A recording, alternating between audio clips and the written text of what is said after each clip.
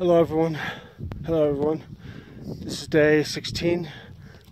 Swing, where are we right now? Uh, Kechela, 4,650 meter. Uh, this is our last pass to go to Lunana area. And where are we going from here? Down? So going all the way down to our riverside and then uh, we are going to the right, going up the river. Four hours down, huh, for lunch? Okay, cool.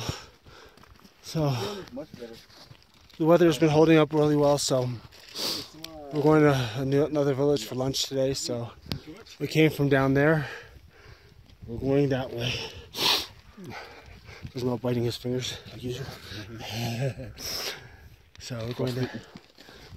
Oh, as I try to climb up top here to get a better view of what we're going to see. Oh, the effort. It's to be a muddy trail down.